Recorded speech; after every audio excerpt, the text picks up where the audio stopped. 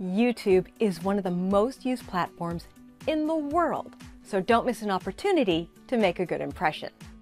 That means customizing your channel header and your profile picture. To make it easy, we created a Canva template for you to use. Before we walk you through how to use the template, let's get some channel art inspiration from financial advisors on YouTube.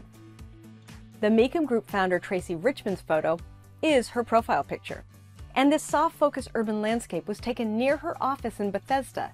With her logo highlighted with the screen banner, this makes her channel feel personal and you know immediately you're in the right spot.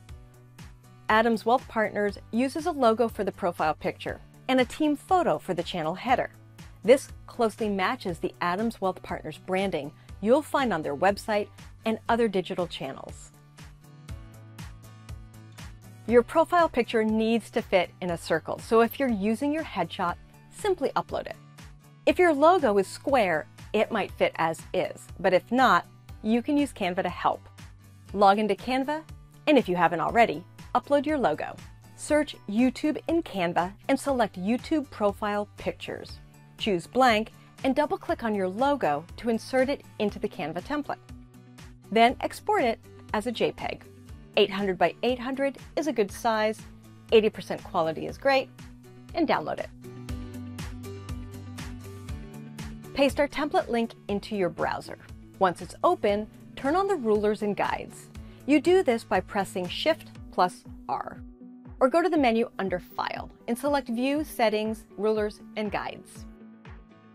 Open the template and then modify it to work with your brand. Here's how. To change the background color, you're going to need to move this pattern out of the way. Click on the background color, and then you can change it right here. You can replace the textured overlay with another one that suits you. Or get rid of it altogether.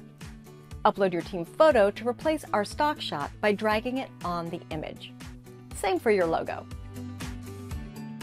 This is the easy part. Click on the camera icon in the profile photo and upload your image.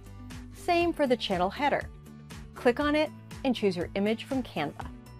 If something looks off, you can go back into Canva and adjust it until it's perfect. Now, your YouTube channel will be as polished as the brand you've built.